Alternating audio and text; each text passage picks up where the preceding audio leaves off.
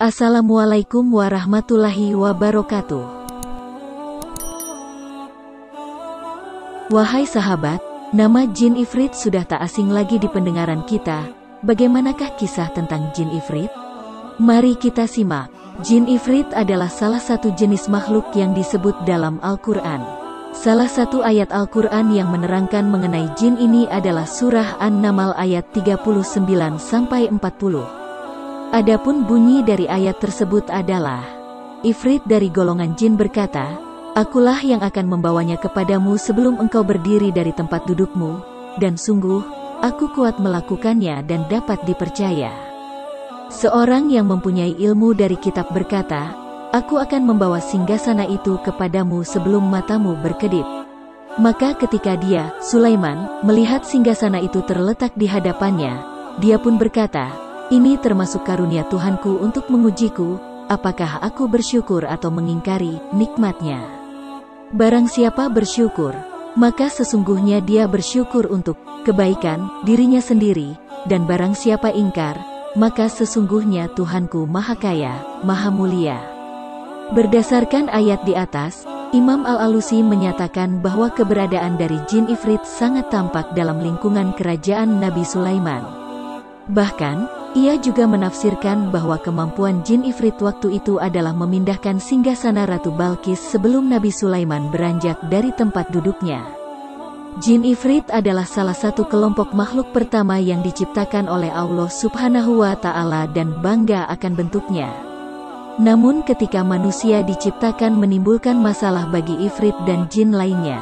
Mereka tidak dapat melihat bagaimana bentuk ciptaan yang disebut manusia ini, yang terbuat dari tanah liat yang rapuh, dapat menandingi bentuk unggul mereka yang terbuat dari api tanpa asap. Satu ifrit khususnya bernama iblis menolak untuk bersujud kepada Adam. Karena ketidaktaatan iblis tersebut, akhirnya dia diusir oleh Allah subhanahu wa ta'ala dari nikmat yang Allah berikan. Meskipun dia seharusnya dimusnahkan karena dosa-dosanya tetapi Allah subhanahu wa ta'ala masih memberikan dia kelonggaran sampai hari kiamat tanpa mengalami kematian. Karena dendamnya, Iblis dikatakan berusaha untuk menyesatkan semua manusia dengan harapan bahwa mereka juga akan kehilangan nikmat dari Allah subhanahu wa ta'ala.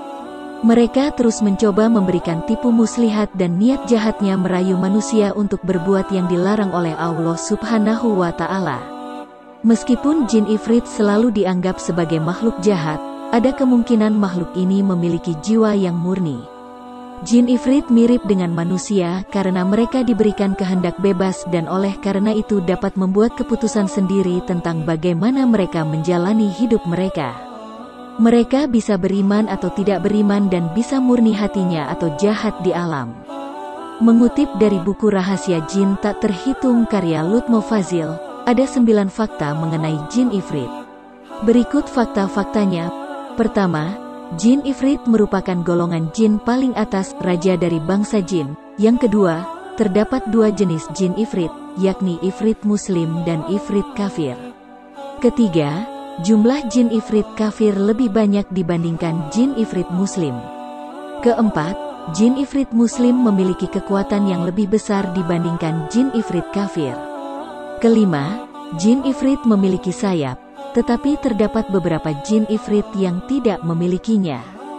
Keenam, jin ifrit memerintah tempat-tempat tertentu di alam jin. Ketujuh, jin ifrit memiliki singgahsana yang besar dan agung. Kedelapan, jin ifrit mempunyai kekuatan yang lebih kuat dibandingkan golongan jin lainnya. Kesembilan, kekuatan satu jin ifrit setara dengan seribu jin biasa. Namun bisakah jin ini dikalahkan? Satu-satunya cara untuk benar-benar mengalahkan jin ifrit adalah dengan menggunakan sihir. Meskipun jin ifrit sangat kuat dan tahan lama, mereka bukanlah makhluk sihir. Oleh karena itu penggunaan sihir menghadirkan peluang bagi manusia untuk mengalahkan jin ifrit. Mereka dapat menyakiti dan membunuh jin ifrit, serta mengikat mereka menjadi budak. Sihir yang digunakan oleh manusia adalah satu-satunya hal yang sangat ditakuti oleh jin ifrit dan jin lainnya ketika berhadapan dengan manusia. Biasanya sihir sering digunakan untuk mengikat ifrit ke objek. Siapa pun yang memiliki objek yang mengikat jin ifrit tersebut dianggap sebagai master jin ifrit. Dari penggunaan sihir inilah legenda tiga permohonan dari jin berasal. Tetapi masih ada cara paling umum bagi manusia biasa untuk melindungi diri dari jin ifrit adalah dengan membaca doa. Doa dianggap sebagai tindakan ibadah yang mendalam antara manusia dan Allah subhanahu wa ta'ala. Dengan demikian, Masuk akal bahwa ini dianggap melindungi seseorang dari jin ifrit, karena hal itu ditunjukkan dalam penentangan iblis terhadap manusia bahwa Allah subhanahu wa ta'ala akan datang membantu manusia jika diperlukan.